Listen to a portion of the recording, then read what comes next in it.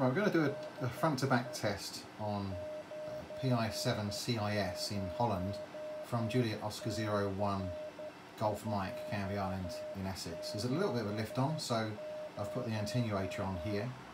It's, this is an 18 element uh, LFA Yagi on a 4.2 metre boom. And you can see it's just peaking just above the 9 and we're on um, about 80 degrees at the moment. So I start to turn it around. So from 10 over 9 I guess that is with the two red dots.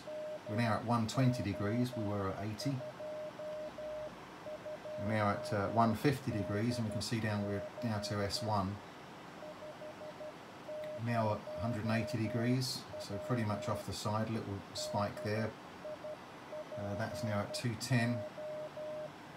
Now coming around to 240 and then we're pretty much uh, to the back now so around S4 by the looks of it.